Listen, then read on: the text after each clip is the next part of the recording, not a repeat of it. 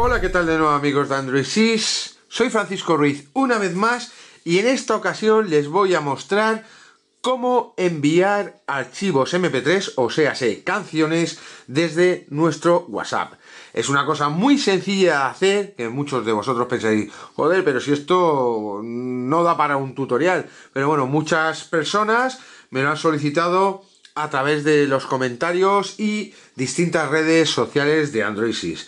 Bien, esta funcionalidad de poder enviar un archivo MP3 o una canción a través de, WhatsApp hubo un tiempo en que estuvo bloqueada y exactamente, no sé si es en la última actualización o hace unas cuantas actualizaciones, se ha vuelto a habilitar. Bien, lo único que vamos a tener que hacer es tener nuestro WhatsApp actualizado, abrir la aplicación, seleccionar a la persona en la lista de nuestros chats a la que queramos mandar la canción correspondiente, o sea, el archivo MP3, y clicar en el clip de aquí arriba, donde nos salen las diferentes acciones que podemos realizar con WhatsApp. Como veis, podemos entrar en la galería para mandar una foto, hacer una foto en directo, hacer un vídeo, eh, mandar un audio, ubicación o contacto. Pues lógicamente picaremos en la opción mandar audio y ahora nos da tres opciones. En estas tres opciones podremos grabar audio con WhatsApp, o sea, con nuestro micrófono de nuestro teléfono y mandar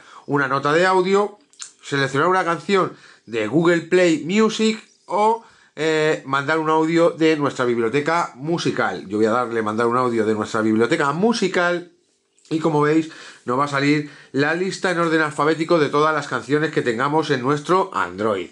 Ahora lo único que tenemos que hacer es seleccionar la canción correspondiente o clicar para, por ejemplo, que se nos muestren eh, en plan canciones o en plan artista. Voy a seleccionar artistas y me voy a ir a la canción que quiero mandar. Por ejemplo, me voy a ir aquí a una canción de U2, por ejemplo, y vamos a mandar la de Res Up.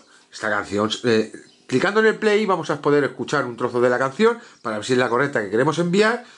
Yo no lo voy a hacer para que Google no me bane el vídeo por derechos de autor. Y eh, bueno, una vez seleccionada la canción, simplemente clicamos en la correspondiente canción y ya se va a pasar a nuestra al chat de nuestro contacto y se va a ver la evolución de cómo esta barra de progreso de cómo se le está enviando la canción.